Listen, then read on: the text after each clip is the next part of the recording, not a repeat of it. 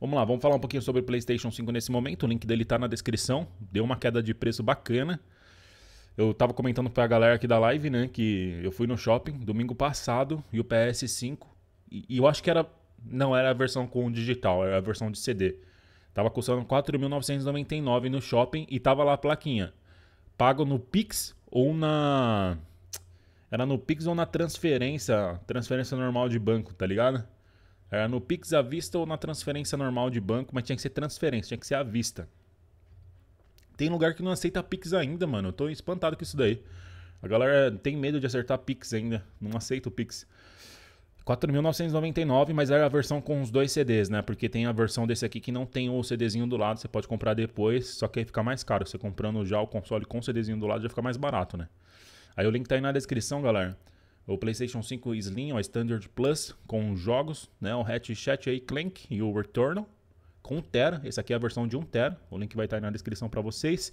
Tava custando 4.566, saindo por 3.637, tá? E 55 centavos aí. Tá sem juros também de R$ 382,90. Só que quem fizer o pagamento ali através do Mercado Pago normalzinho ainda tem mais 5% off. Então é uma vantagem boa. Tipo, mano, eu fiquei com dó da galera que comprar um PlayStation 5 no shopping hoje em dia, mano. Não faz sentido.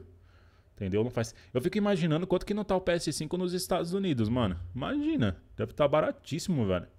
Acho que o PS5 nos Estados Unidos deve estar tá, o quê? Uns 400, 500 dólares, mais ou menos? Alguém tem essa informação? Alguém que tá no chat aí? Quanto que tá custando um PS5 nos Estados Unidos? Acho que deve estar tá mais ou menos isso, né? Só que aí você traz pro Brasil, tem que pagar imposto e tudo mais, vai bater o preço que tá aqui, né? A Sony não é boba, né? Ela já naturalizou o PlayStation para deixar num preço compatível, mas, mano, no shopping não vale a pena comprar não, pessoal. A única vantagem do shopping é poder testar, igual eu falei, né? Ah, quero testar, ou quero comprar um controle a mais e testar os dois controles na hora e tal, mas PlayStation 5 já sai de fábrica prontinho, mano, já sai de fábrica 100%, então não tem muito erro também, né? Comprar pela internet, na minha opinião, é bem melhor. E o bacana é que ele tá, ainda tá com frete grátis nesse anúncio aqui e tá dentro do FU. Então o FU tem envio imediato, né? Essa é uma vantagem bem grande aí para quem tá afim de pegar um PS5 hoje em dia, tá? O link tá aí na descrição, dá aquela acessada. Vou jogar o link no chat pra galera também, beleza? Ativa o sininho, tamo junto.